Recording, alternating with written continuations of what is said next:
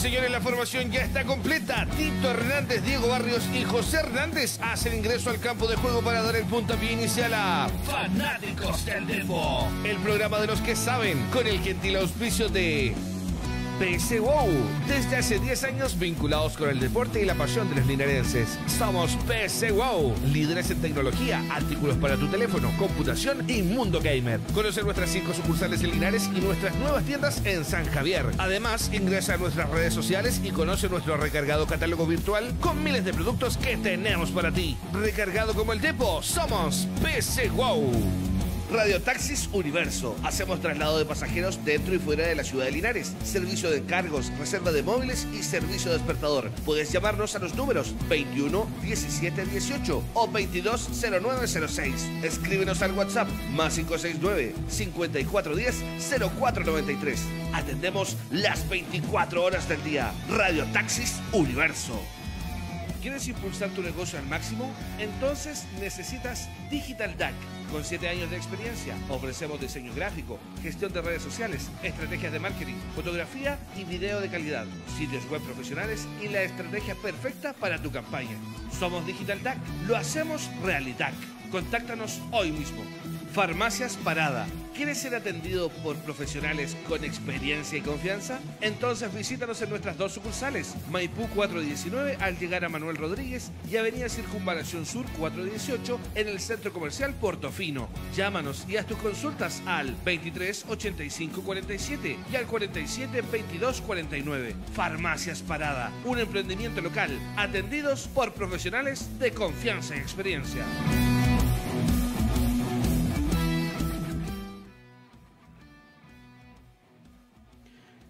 Hola, ¿qué tal? ¿Cómo están? Sean todos bienvenidos y bienvenidas a este sexto capítulo ya de Fanáticos del Depo a través de Vive Linares. Por temas eh, laborales, como día lunes, José Hernández hoy día no pudo acompañarnos, así que voy a tener el privilegio y el honor de acompañarlos en esta hora y algo de programa. Eh, yo sé que ustedes quieren escuchar a quienes eh, semana a semana nos deleitan con sus exhaustivos y certeros análisis. Hablo de Diego Barrios, que nos acompaña desde Concepción, y Héctor Tito Hernández, que me acompaña acá en la casa estudio de Vive Linares. Es un momento delicado para Deportes Linares, tercera derrota consecutiva, eh, pero vamos a intentar ser fríos en el, análisis, eh, mesurados, hacer un análisis eh, como corresponde. Eh, los ánimos están caldeados, venimos recién saliendo del partido hace poco menos de una hora. Eh, estamos recién subiendo, viendo, editando las imágenes, las cuñas. Eduardo Lobos ya señaló en punto de prensa, en la conferencia, que no deja la banca de Deportes Linares. Y eso vamos a estar analizando el día de hoy. Don Tito, lo saludo y comenzamos eh, de inmediato el análisis del primer tiempo del partido. ¿Qué tal, Nico? ¿Qué tal, auditor, auditora? Un saludo para ustedes, cariñoso, en una noche en que necesitamos mucho cariño, sobre todo los que somos fanáticos del Depo. Lo necesitamos, de todas maneras.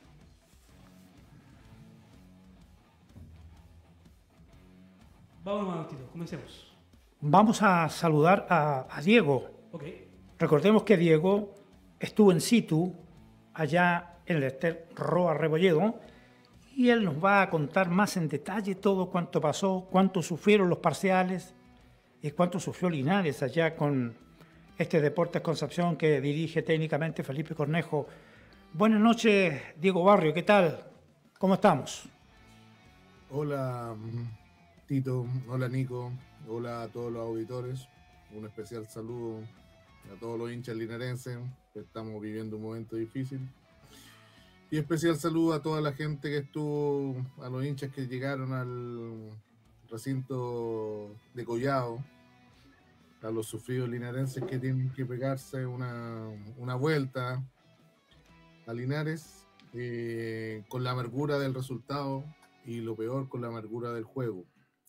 Eh, tuve el placer de compartir mm, el partido con Patricio Bonón, un hombre que echamos de menos hoy día en este plantel, un 9, un goleador, Eh, mandó muchos saludos a los hinchas, siempre lleva a Linares en el recuerdo. Eh, también familiar de, de Nelson Peñalosa, nos saludaban, querían seguir el programa, así que un saludo especial a, ellos. Eh, pero lamentablemente la, lo que venimos a comentar hoy día no, no es positivo. Tal vez, tal vez sea importante, Diego, luego ya de hacer un planteamiento previo a lo que es ir al campo de juego, tú lo viste in situ, yo lo vi a través de la televisión, por lo tanto podemos tener una imagen distinta. Fíjate que me da la impresión que en el primer tiempo Linares hizo cosas bonitas, por lo menos hasta el gol. Es la impresión que me queda. Linares jugó de igual a igual, después recién a los 18 llega Concepción con algún riesgo, me da la impresión que, Linares jugaba tranquilo hasta, eh, hasta la apertura de la cuenta. Y esto es lo que le pasa, le pasa un poco la culpabilidad al técnico de toda la gente, porque no, no soy yo el que lo digo, la gente, el hincha, el que dice, ¿por qué hacemos un gol y nos arratonamos? ¿Te pareció eso allá en el Esterro a ti, Diego?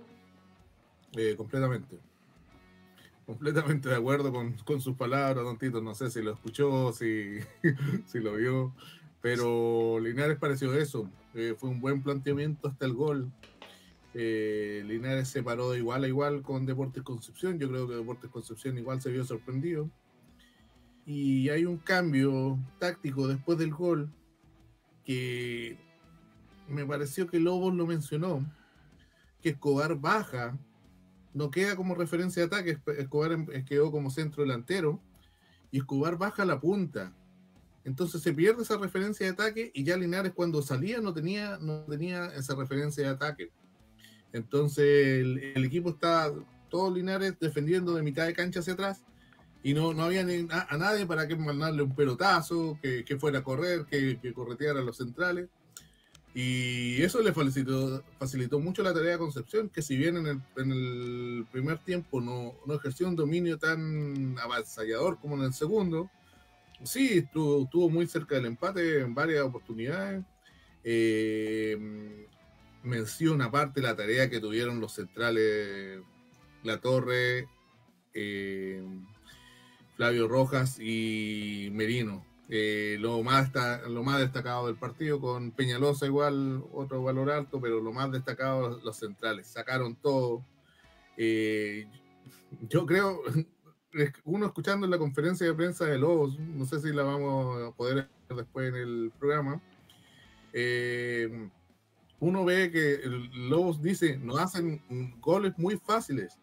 Y yo no lo, yo no lo veo. Yo no veo que lo hacen goles muy fáciles porque los Concepción nos llenó a centro. Eh, eh, tuvieron un cabezazo que sacó Merino. Entonces, eh, yo no sé qué, partido violó que no hacen goles muy fáciles. Si no, no le hicieron goles fue por la labor de La Torre y Flavio Rojas. Pero volviendo a lo que hablábamos con Tito, claro que Linares como que bajó un cambio después del gol, se esperó que manejara el partido, que siguiera presionando arriba, iban recién 15 minutos y se echa atrás, no sé si inconscientemente, según Lobos, fue que Escobar dijo que, que se había, se había, iba, había empezado a apoyar de más a los centrales, perdiendo la referencia arriba. Esto hace que Linares sea un equipo muy largo, y cada vez que recuperaba el balón lo recuperaba en, la, el campo propio y, y, los jugadores como Peñalosa, como Leterier por el otro lado tenían que, recorrer grandes zancadas para llegar al otro lado. Aún así Linares tuvo algunas ocasiones en el primer tiempo que pudo asegurar el, triunfo, pero eh, efectivamente Linares no, Después del gol, eh, le cedió todo el terreno a Deportes Concepción y con un poco de suerte eh, mantuvimos el empate en el, primer tiempo. Hay una jugada en el minuto 45, el arquero de, Concepción, estamos hablando de Joaquín Muñoz, toca la pelota con la mano un pase atrás de un defensa y hay un tiro libre indirecto. Oyarzol se iba Zúñiga y la verdad es que ahí pudimos haber, pudo Linares haber anotado el segundo gol. Estaba clarito aquello, pero le pegó a las barreras y, y se fue al córner. La verdad es que después del gol, yo anoto todo y ustedes todos saben, y voy buscando posibilidades de gol. Sí, sí, tuvo algunas, pero todas, y aquí hago la pregunta, todas por la velocidad, por el dribbling, por el arranque de Sebastián Peñalosa. Creo que ese fue el lado otra vez que Linares muestra gran capacidad como para llegar al arco rival. ¿Te pareció a ti, Diego, que las oportunidades, aparte que Peñalosa hizo el gol, ya lo vamos a contar, lo vamos a ver, pero el gol, el, segundo gol pudo haber llegado en una gran jugada de Peñalosa que hizo dos o tres después del gol mismo. Sí, hay un centro que no sé quién empalma la, tijera, eh, una especie de tijera que llega a Peñalosa hasta la línea de fondo, eh, promediando el primer tiempo. Eh, bueno, nosotros estábamos en el lado norte, al otro lado del, de donde estaba atacando Linares en el primer tiempo. No, no, sé quién empalma esa tijera que, salió fallida, que, que pudo haber sido el 2, el 2 a 0. Linares sí tuvo ocasión en el primer tiempo, pero porque el planteamiento que, que, lo, que, que yo creo que planteó Lobos, de esperar atrás a Concepción, eh, los jugadores podían hacerlo en el primer tiempo porque les daba el físico, pero no, no, un equipo no se puede meter atrás todo el partido. Desde los 15 minutos del primer tiempo no te puedes meter atrás y tratar de llegar al arco contrario.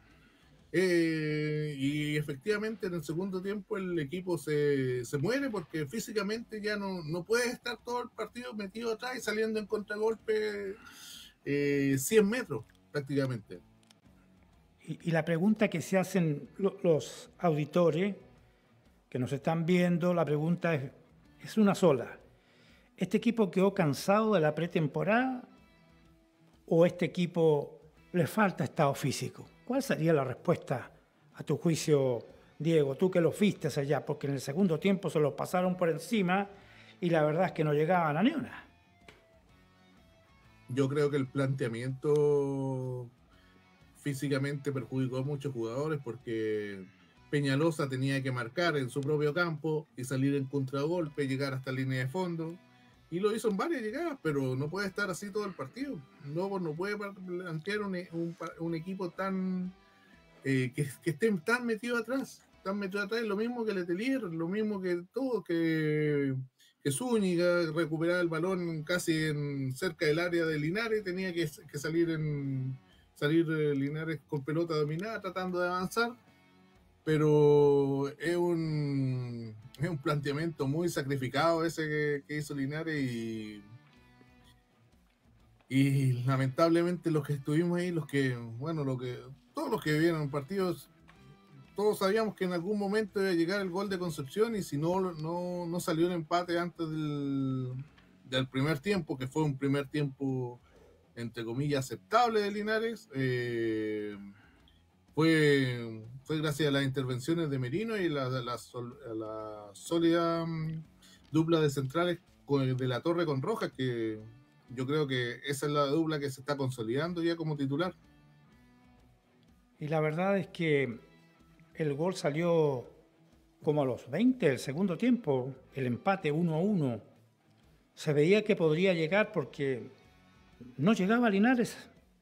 Muñoz era prácticamente alguien más que observaba el partido porque llegaba Concepción una y otra vez.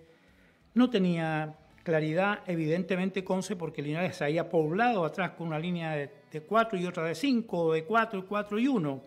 La verdad es que muy poblado el fondo de Linares en el segundo tiempo hasta que llegue el, el minuto número 20, cuando logran emparejar el marcador. Creo que allí eh, empezó Concepción a tener un fútbol más tranquilo, asociado, siempre fue superior, siempre, salvo los 15 minutos iniciales, donde Linares le jugó de igual a igual, le salió el gol y se tranquilizó Concepción porque yo pienso que era difícil hacer el primero, costaba por esa sólida forma de presentar que tenía Linares, pero ellos no entendían de que acá había una tristeza enorme de ver cómo el equipo jugaba, no sé quién jugaba así, Santibáñez, que me perdone él, ¿ah? que en paz descanse. Que en paz descanse, sí. Don Tito, no sé si usted tiene anotado alguna jugada de Linares en el segundo tiempo, porque por lo menos yo no recuerdo ninguna. A ver, si, si usted me, me, me, apura, evidentemente que me saldría fácil decirle, no, no llegó nunca.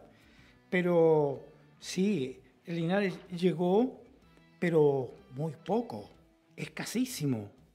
Escasísimo. Y yo voy anotando minuto a minuto. Y cuando la jugada no tiene trascendencia, lo voy colocando intrascendente, intrascendente.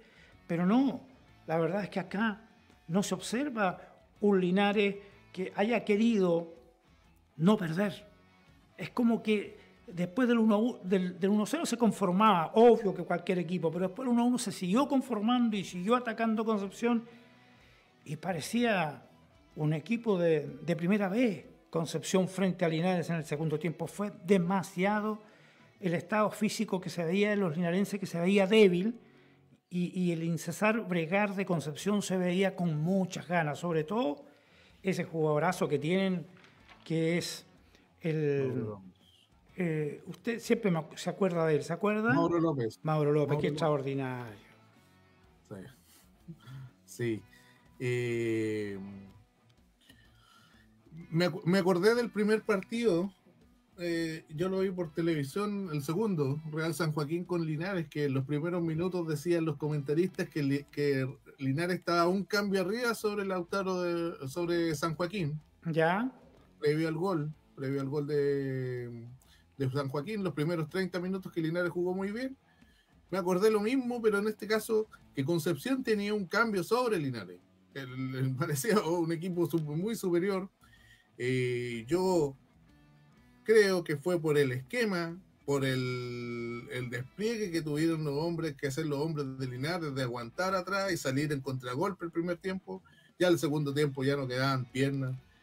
Eh, y, y lamentablemente, no sé, era algo que esperábamos. Esperábamos, en el programa anterior dijimos que Lobos iba a plantear el partido así. Yo pensé que Linares eh, que, que, le iba a salir a Lobos, que le iba a salir el, empate, aunque sea. El, no, no, creía en el triunfo, pero el empate con el esquema de esperarlo atrás, que Concepción se frustrara, y con los, con los contragolpes rápidos pudiera sorprenderlos. Lo planteó tal cual, pero, pero no, no le resultó. Eh, me duele me preocupa que yo vi el partido también de Concepción con, con Con en la semana pasada, que fue muy similar, que Concepción lo gana en los últimos cinco minutos, y con Con le hace más pelea a, a Concepción. Con Con, cuando Concepción le hace el 2-1 en el minuto 40, eh, con Con tenía controlado el partido, no como, como Linares, que en cualquier momento se veía que salía el gol de Concepción. Entonces, un equipo de como Con Con que tiene cero puntos, le hace más pelea a Concepción que nosotros. Y eso es lo que más me preocupa. Ya, está, ya estamos pensando en que vamos a llegar con Concon abajo en la tabla de posiciones. Es una pregunta dura, evidente, pero eh, colocarlos como parámetro, inmediatamente uno se asusta. No había tomado en cuenta este análisis que usted hace con respecto a que eh, Concon perdió después de los 40 del segundo tiempo. Duró bastante eh, la posibilidad de que Concon se pudiera llevar un triunfo incluso. Pero bueno, lo de ahora es preocupante. Pero a mí me preocupa por la pregunta que le hice y que, eh, que usted prefiere decir que es una parte táctica. Y, y tengo que creerle porque usted estuvo in situ por ejemplo, en el primer tiempo, Linares después de los 15 salía a correr pelotas en su propio sector. Cualquiera se cansa. El físico no da. Y aquí viene otra pregunta también, a ver si podemos ir entrando. Cuando entra el segundo tiempo, sacan al chiquito que juega por la punta derecha, ¿cierto? A Letelier un sub-21, Linares jugó hoy día con 5 sub-21, ¿ah? Sacan a Alberto Letelier y entra Vallejo y, la gente, la gente dice, el hincha, que la entrada de Vallejo no favoreció en absoluto a Linares. ¿usted es tan duro, tan claro, tan contundente como dice el hincha o no, Diego? Eh, bueno, Letelier eh, no se vio mucho tampoco en el primer tiempo. Vallejo se vio menos en el segundo tiempo. Eh, no sé si es culpa de Vallejos.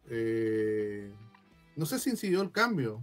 Eh, Linares no llegó en el segundo tiempo. No, Vallejos no se vio.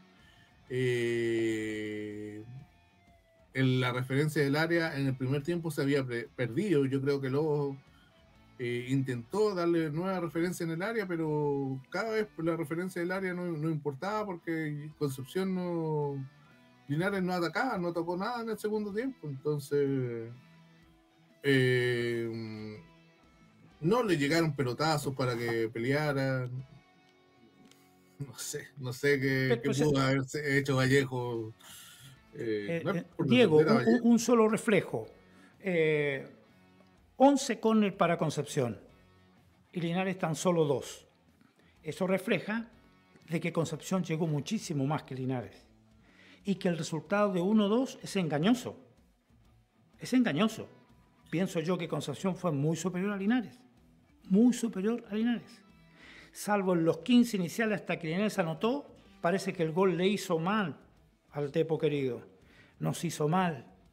De allí hasta los fanáticos comenzamos a sufrir desde ese mismo instante. Creo que a pesar de lo negativo que aparezca todo el comentario, a mí me gustaría destacar jugadores que jugaron bien. ¿Le pareció a usted que hubieron algunos rescatables? Porque yo tengo algunos, pero usted estuvo allá, estuvo en in situ ahí en la cancha misma, entonces tiene que tener alguna, algunos destacables. No creo que los 11 hayan estado mal, o los 13, perdón.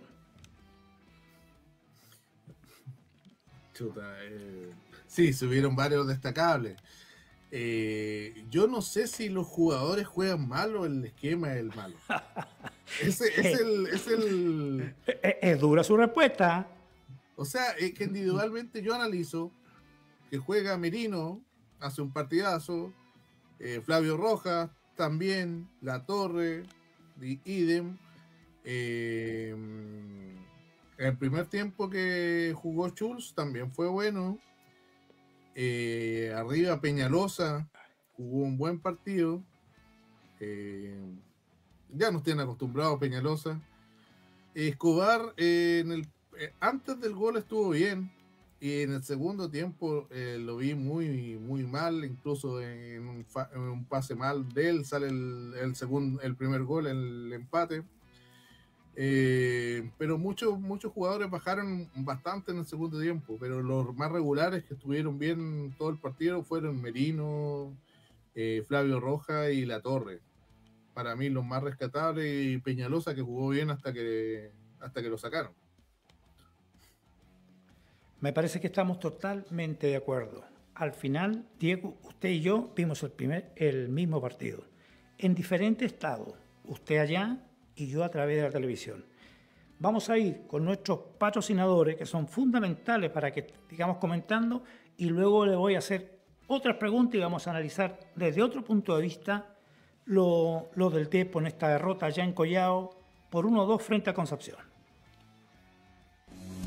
PS WOW. Desde hace 10 años vinculados con el deporte y la pasión de los linarenses. Somos PS WOW, líderes en tecnología, artículos para tu teléfono, computación y mundo gamer. Conoce nuestras 5 sucursales en Linares y nuestras nuevas tiendas en San Javier. Además, ingresa a nuestras redes sociales y conoce nuestro recargado catálogo virtual con miles de productos que tenemos para ti. Recargado como el Depo, somos PS WOW. Radio Taxis Universo. Hacemos traslado de pasajeros dentro y fuera de la ciudad de Linares. Servicio de encargos, reserva de móviles y servicio despertador. Puedes llamarnos a los números 21 17 18 o 22 0906. Escríbenos al WhatsApp más 569 5410 0493. Atendemos las 24 horas del día. Radio Taxis Universo. ¿Quieres impulsar tu negocio al máximo? Entonces necesitas Digital DAC con 7 años de experiencia, ofrecemos diseño gráfico, gestión de redes sociales, estrategias de marketing, fotografía y video de calidad, sitios web profesionales y la estrategia perfecta para tu campaña. Somos Digital DAC, lo hacemos realidad. Contáctanos hoy mismo. Farmacias Parada ¿Quieres ser atendido por profesionales con experiencia y confianza? Entonces visítanos en nuestras dos sucursales, Maipú 419 al llegar a Manuel Rodríguez y Avenida Circunvalación Sur 418 en el Centro Comercial Portofino. Llámanos y haz tus consultas al 23 85 47 y al 47 22 49. Farmacias Parada, un emprendimiento local, atendidos por profesionales de confianza y experiencia.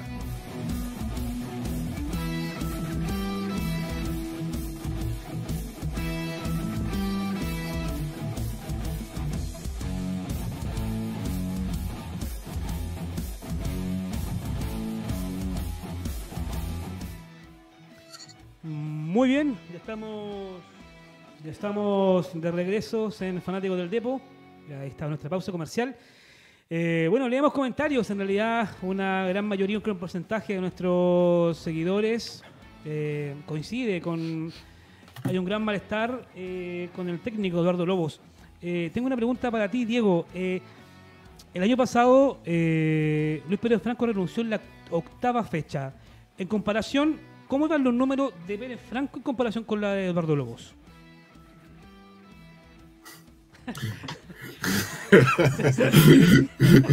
bueno, eh, el año pasado eh, a Pérez Franco se le complicó con una derrota en Valdivia en la cuarta fecha. Había hecho un pobre debut en San Joaquín, eh, venció en la agonía a Lautaro jugando relativamente bien eh, perdió un mal partido con Fernández Vial y después perdió con San Joaquín. En ese partido Luis Pérez Franco se, se le complicó esa, perdió con Valdivia en la cuarta fecha. En ese partido se le complicó porque ya empezó a quedar sacado con tres puntos. Ahora tenemos solamente uno, solamente uno. Bueno, a Luis Pérez Franco se le dio la opción de seguir cuatro fechas más, pero eh, dentro de esas cuatro fechas hubo un par de partidos buenos, que fue el partido contra Trasandino, que se empató, que se debía haber ganado, y el partido contra Ranger en Copa Chile, que fue extra, pero mm, lamentablemente acá no vemos un cambio. Estamos peor que hace que, el año pasado. Eh, estamos cerca de los puestos de, descenso. Eh, mejoró mucho Trasandino con el cambio de técnico, así que eh, yo veo malas perspectivas para, para Linares, no veo un cambio, veo que Lobos es como el cuento de Lobos, que siempre eh, sigue con las mismas justificaciones que tenía el año pasado, que, que, le, que le, hace mucho daño con, con poco, que no tenemos, no tenemos peso ofensivo, entonces eh, yo no sé si es un tema de jugadores, ya no es un tema de jugadores ya. Eh, y, creo que tengo que mencionar esto. bueno, uno lo tiene. Uno no, yo creo que nadie tiene derecho a meterse en la vida de nadie, pero si tú eres, eres entrenador de un equipo que va en la cola y estás y vas eh, el día anterior a una fiesta. Eh, yo creo que es una falta de respeto para los hinchas linarenses. Eh, en, todos los, en todos lados se, se vio así, se vio así y, y, claro, se le podría haber perdonado si luego gana, gana, hoy día, nadie se habría acordado, pero yo creo que eso fue una falta de respeto. Eh, yo creo que, claro, cada uno puede hacer lo que quiera. Si Linares hubiera tenido 10 puntos, da lo mismo, pero estamos en una situación crítica. Eh, no somos tanto hinchas como Colo Colo, pero también merecemos ese respeto y creo que Lobos, eh, divirtiéndose el, día anterior de un partido clave previo, eh, no, no, ayuda mucho a que, que, generar una simpatía, entre comillas, de la hinchada. ¿Sabes? Yo tuve un sueño ayer, em, Diego, Nico, auditor auditora, tuve un sueño que le habían pagado tanta plata al profe, fue un sueño, ¿ah?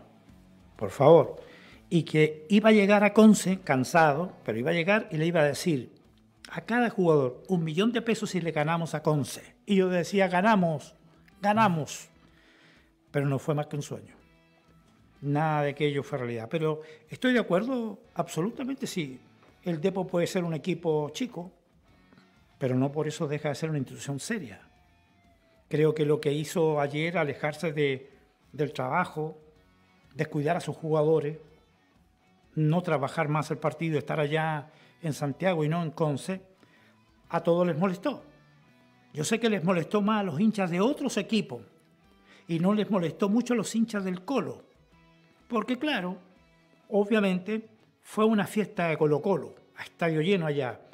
Pero a los hinchas del Depo, a los que somos fanáticos del Depo, nos molestó. Seamos hinchas de cualquier equipo, nos molestó. ¿Y quién lo salvaba? Lo que acaba de decir usted, Diego. Lo salvaba el resultado. ¿Y cómo perdió? No lo podemos callar. No nos podemos silenciar, porque si nos silenciamos, significa que somos cómplices. Somos cómplices no podemos ser. Nosotros estamos acá para decir la verdad, no tergiversarla, no amononarla a gusto nuestro, no darle responsabilidad al que escribe, a ese hincha que escribe, enojado, molesto, y que nos dice todo este tipo de cosas, que nos llama de diferentes maneras. Hay algunos muy ofuscados, y yo los comprendo, porque al igual que nosotros, son fanáticos del Depo. Yo quería volver al partido, Diego. Fuimos con la pausa comercial, este, Nico. Ok. Quería decirle una cosa y quiero que usted me ayude a comentarla. Fíjese que en el primer tiempo, Linares desorientado después del gol, aunque cualquiera que hace un gol, Linares la primera vez que lograba ir arriba en el marcador este año, se desorientaron y le pusieron tres amarillas. Tres amarillas. A jugadores fundamental. A Diego González. Al lateral izquierdo Chul, que es un hombre que ayuda mucho a medio campo. Que a, a Ollarzo. ¿Y quiere que le diga una cosa? Linares es un equipo limpio. Limpio. No es un equipo que golpee, no. En los 25 amarillas Ollarzo por reclamar. En los 37 amarillas a Schulz por hacer tiempo en un lanzamiento de costado. Y en los 38 minutitos después, amarilla a Diego, Diego González por reclamar. ¿Qué habrá reclamado Diego González? No sé. Pero vea que ingenua las amarillas. Entonces usted dirá, bueno, son parte del No, señor. Este es el medio campo, el equipo donde tiene que luchar y batallar todo el partido. Ahí está el sostén del resultado. Y sin embargo, en el segundo tiempo, estas amarillas dejaron cuestionado a los tres que le menciono. ¿Le pareció, Diego, a usted? Sí, evidentemente, evidentemente eso condiciona a los jugadores que juegan en el medio campo. Eh, esas amarillas vienen después de un par de situaciones en particular donde los hinchas de Concepción reclaman mano en el área el árbitro siguiendo muy de cerca la jugada, por, yo no vi el partido por televisión, siguiendo muy de cerca la jugada, el árbitro las desestimó, pero fueron justo un par de situaciones que los hinchas de Concepción pidieron penal. Y al segundo, a la segunda eh, ya empezaron a gritar que el árbitro estaba, que era ladrón. Y cuatro mil, casi cinco mil personas gritando al árbitro ladrón, igual que genera una presión sobre el árbitro. De todas maneras eso es lo que yo siempre he llamado a los hinchas, que, que llenemos tu papel Bustamante y hagamos esa presión. Eh, y, yo creo que probablemente esa, ese tarjeteo fue por esa presión que ejerció la barra de Concepción. Y, y, pienso que eso sí condicionó el trabajo de los tres que le menciono.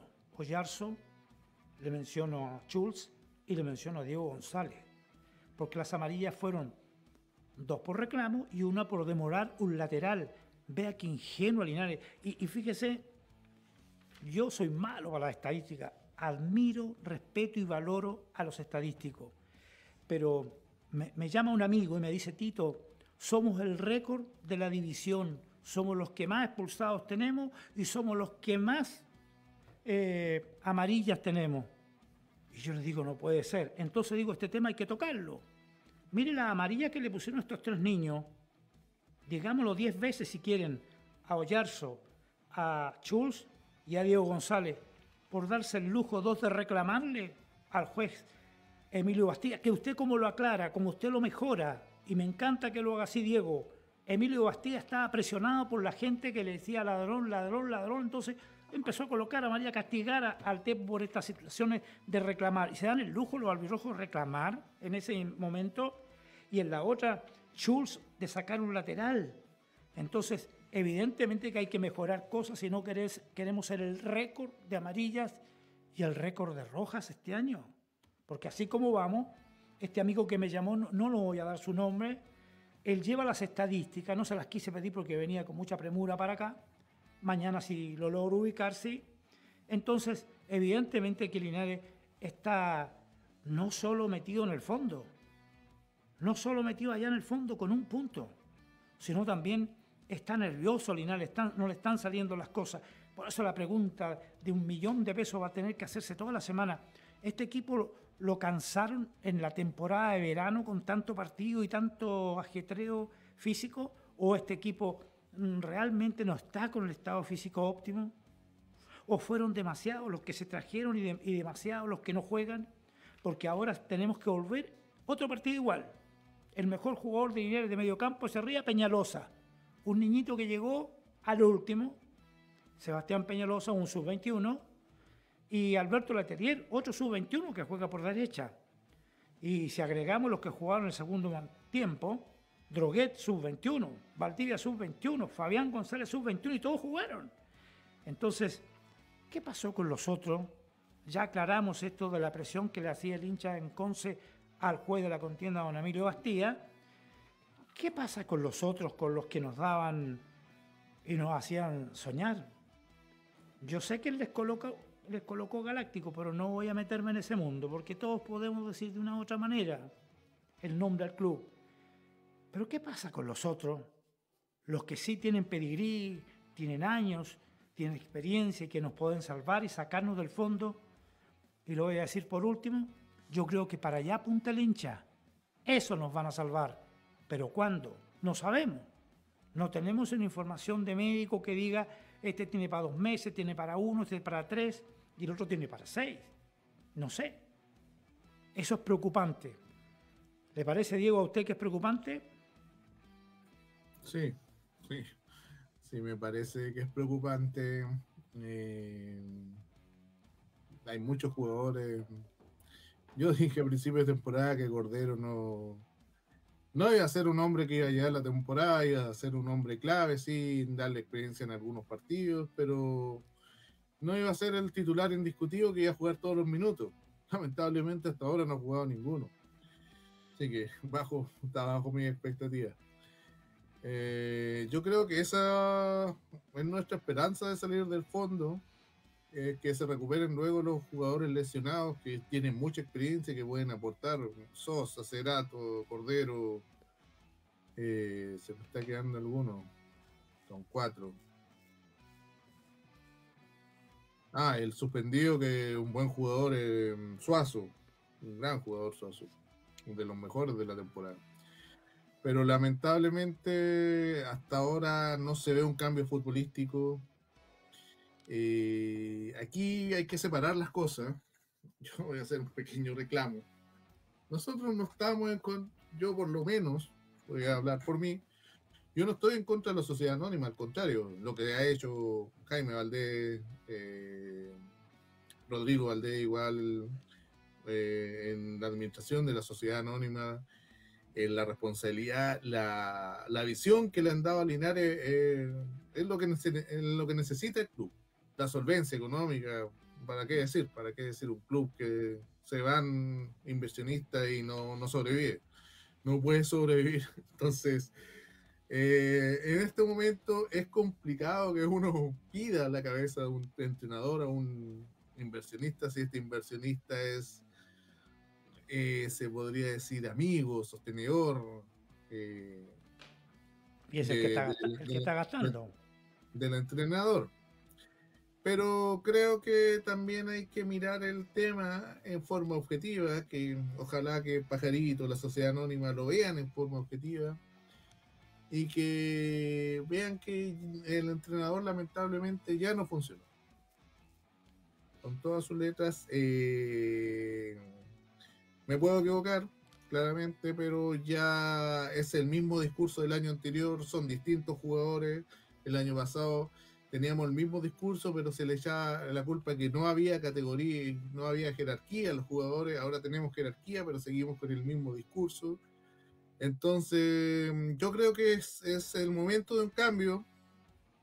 Es el momento de un cambio y que ojalá la sociedad anónima pueda separar las cosas, la amistad, o en el peor de los casos que Lobos asuma que es bien amigo del inversionista y como, por, como, como amigo dé un paso al costado. Es que. Porque eh, sí, Sí, opine nomás, Nico.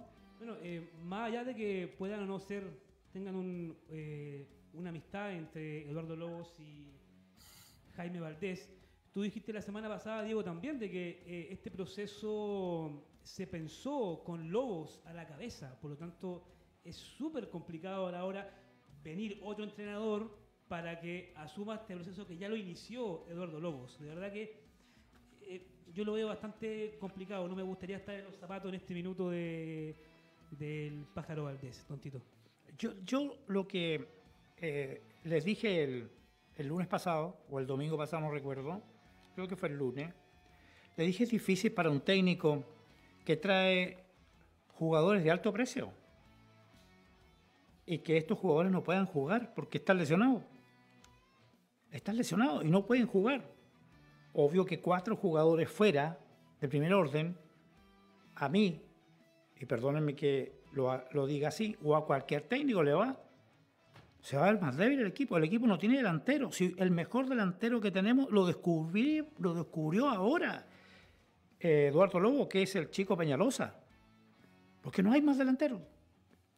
Carlos Sosa, lesionado. Cordero, lesionado. Cherato, lesionado. Y se creía que con, Carlos, con Cerato, con Sosa, con Cordero, y me falta uno, no me acuerdo el nombre, el equipo mejoraba ostensiblemente, pero no han logrado jugar todavía. Cerato jugó 10 minutos, los otros días hizo una gran jugada y nada más. Cordero no ha jugado. Sosa jugó un ratito y nada más. Chocó con el arquero y ya no pudo seguir. La verdad es que este es el drama de Linares. Ha tenido que enfrentar las cuatro fechas iniciales con sub-21. Yo no digo que sean malos todos. Hay algunos que empezaron a los 17 años a jugar y por Dios que han sido buenos. Pero el drama pasa en que con puros chicos sub-21 no se puede jugar. Con dos en cancha más tres en banca, sin alternativa de jugadores de peso, como los que le hemos mencionado varias veces, eh, eh, no se puede tener los resultados que habrá soñado tener, por supuesto, nuestro técnico Eduardo Lobo. Por el momento, absolutamente al debe. Eh, un término popular, por angas o por manga, al debe, al debe. Mire dónde estamos. Mire dónde estamos. El año pasado se fue un técnico que lo quería todo Linares, y porque tenía tres puntos. Y acá hay uno solo en cuatro fechas. ¿Qué vamos a hacer? No sé. Alguien va a tener que decirnos que vamos a tener que ser buenos. Sobre todo en esta semana no podemos ser tan duros. Esta semana, por favor, cálmense un poquito. Yo he tenido la suerte de leer algunos que escriben, pero no sé, durísimo, durísimo. Diego, ¿qué más nos falta analizar? ¿Qué nos va faltando por el rato que nos queda?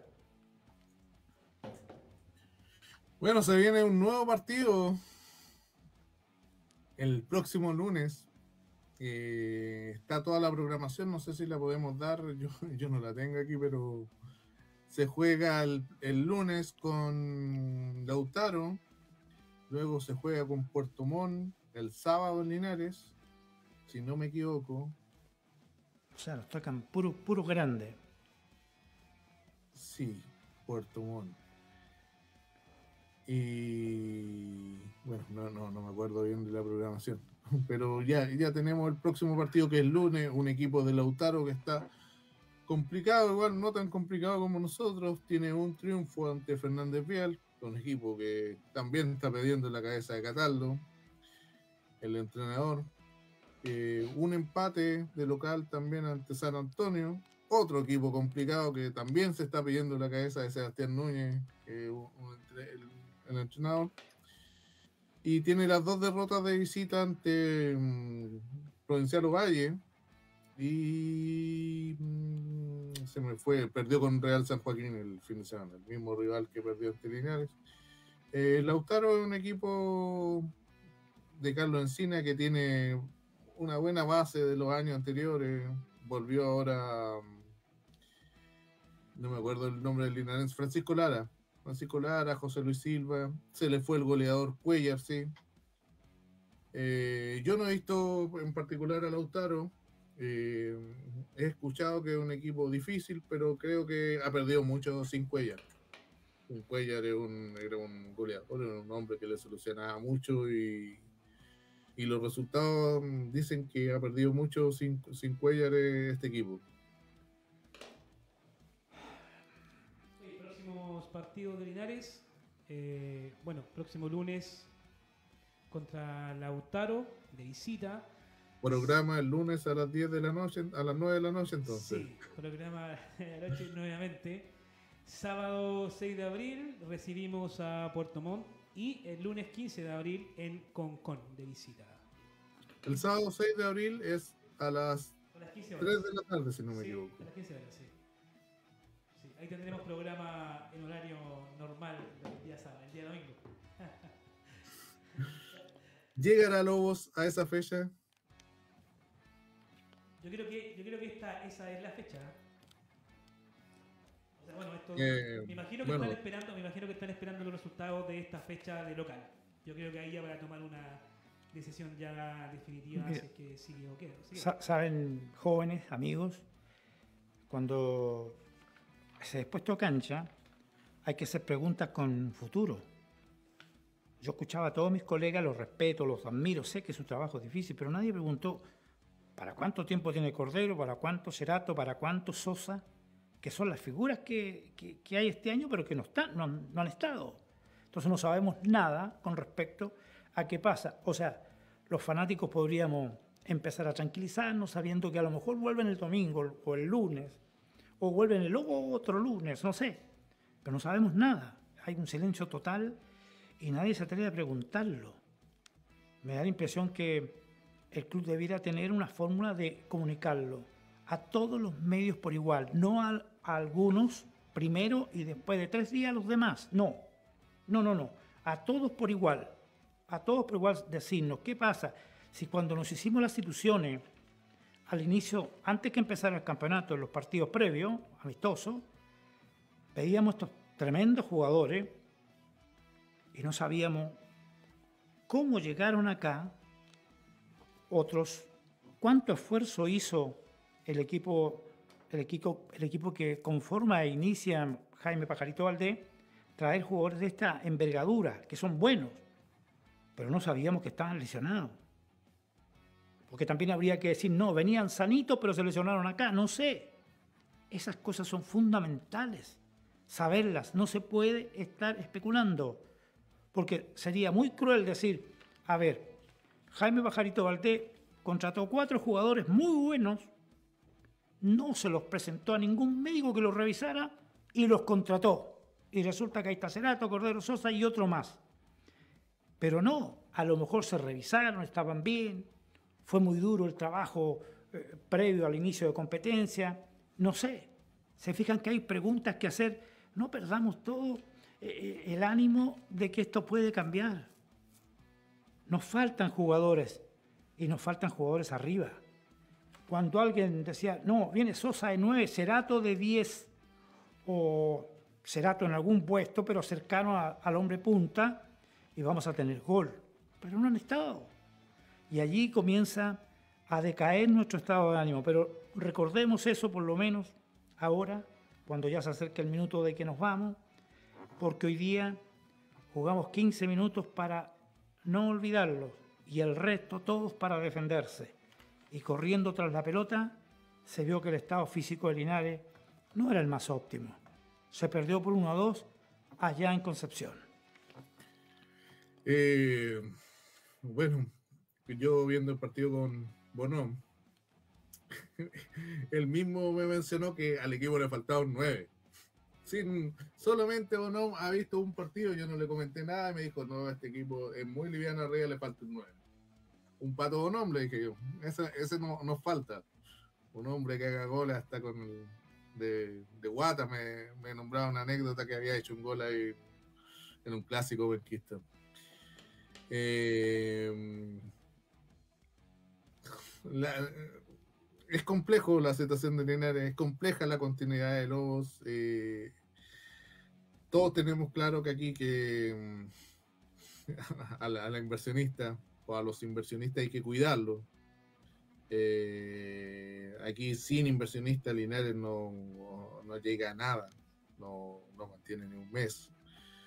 Y claro, él, él, es, él es soberano de tomar todas las decisiones. Ojalá que las decisiones eh, también, claro, sus intereses son sus intereses, pero que no sea una apuesta de decir, si no subo, me da lo mismo descender. Lo, lo importante para nosotros, como hinchas, también es mantener la categoría. Eh, si no se subió este año, ojalá este no sé si vamos a tener un equipo para pelear el próximo año, pero sí, sí tratar de mantener el mantenernos en esta categoría para, para proyectarnos en el fútbol profesional. Ah. Así que ojalá que tengamos esa, esa misma visión compartida con, con, los inversores. Y si ven esa visión, a lo mejor um, se puede ver que los, a lo mejor no da resultado, o sí, sí, puede salvar la categoría. Yo no sé, puede, que, peleando el descenso sí pueda salvar la categoría, pero le va a costar mucho, va a costar mucho. Como viene jugando el equipo y como viene jugando el equipo hace más de un año, casi un año. Bueno, sí, dijiste algo súper importante, que es que cuidemos a los inversores, ¿ya? No voy a hacer que el próximo año ya no, ya no, ya no contemos con, eh, con Jaime Valdés. Creo que eso sería mucho peor que tener un técnico malo.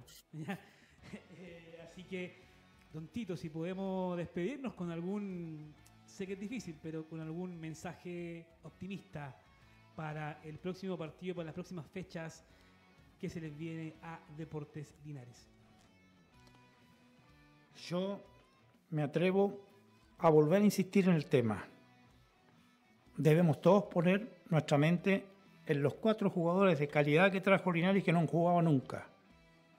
¿Están para jugar o pedirle con humildad, con respeto, con fe a la sociedad enorme que los cambie? Porque existe la posibilidad de cambiarlo. Si alguno está lesionado ya es irrecuperable, traer otro que cumpla esa misma, pero en mejor forma. Alguien me va a decir, es difícil a esta altura. Nunca hay que darse por vencido. Creo que si volvieran estos cuatro jugadores y pudieran jugar alguna vez un partido entero por el Depo, creo que la imagen cambiaría muchísimo. Yo con mucha pena me despido hoy deseándoles a todos una Semana Santa bellísima. Buenas noches. Hernández, Diego Barrios y José Hernández hacen abandono del campo de juego. Finaliza por hoy el programa de los que saben, fanáticos del Depo.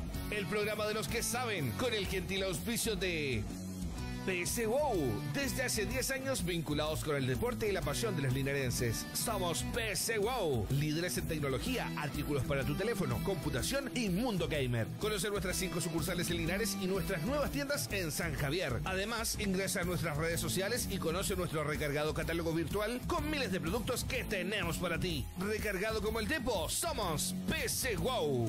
Café Caramel Linares, Avenida Presidente Báñez con Arauco a pasos de calle Pomo. Ofrecemos una gran variedad de tortas enteras y por trozos, tartas, pay de limón, requitos de canela, brownie, helado San Francisco y café del grano. Amplio y acogedor local, grato ambiente familiar. Les esperamos en Avenida Presidente Ibáñez con Arauco. Café Caramel Linares, un verdadero gusto al paladar.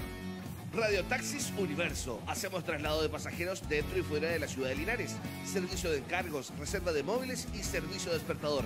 Puedes llamarnos a los números 21 17 18 o 22 0906. Escríbenos al WhatsApp más 569 5410 0493. Atendemos las 24 horas del día. Radio Taxis Universo.